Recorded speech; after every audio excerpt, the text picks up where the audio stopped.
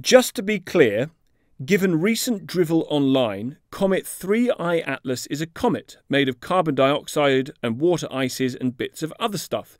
It is entirely natural in origin, its orbit is as expected, and it will whiz around the Sun and then disappear off into the galaxy again. That's Professor Brian Cox, uh, astrophysicist, much beloved of the British people, um, telling you that you are wrong in providing drivel when you um, suggest that this is anything other than a comet. Brian Cox did not write a single scientific paper about 3I Atlas.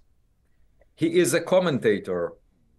And uh, when uh, playing soccer, we know that there are soccer players on the field and there are commentators. I'm on the field. I wrote 11 scientific papers about 3I Atlas.